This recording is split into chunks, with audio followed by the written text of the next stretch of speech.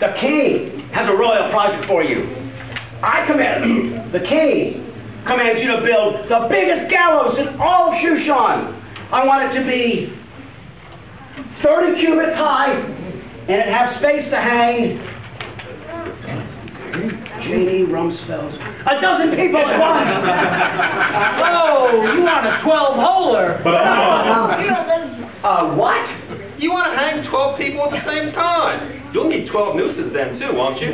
Oh, right! And use the strongest rope in the kingdom. None of that stuff from Costco. It's going to be a workout. Oh, and it has to be ready by the 13th of Adar. Get to work! Ah, yes. What's a cubit? I have no idea.